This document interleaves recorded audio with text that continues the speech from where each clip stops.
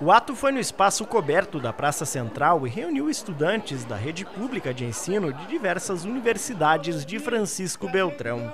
Os jovens seguravam cartazes em defesa da educação e manifestaram a oposição contra cotes de verbas por parte do governo federal é que no final do mês passado foi anunciado o fim do repasse de 3 bilhões e 200 milhões de reais no orçamento de 2022 do Ministério da Educação. Esse orçamento era para despesas básicas, para contas de luz, contas de águas, auxílio estudantil, bolsas de apoio. Esse corte também vai atingir o CAPES, que é o programa de pós-graduação e doutorado, mestrado do Instituto, dos institutos e universidades. Alguns professores também se uniram ao manifesto.